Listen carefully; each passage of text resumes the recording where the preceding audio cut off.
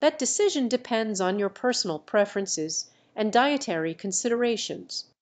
Domino's Plympton is a restaurant that specializes in pizza and other fast food items.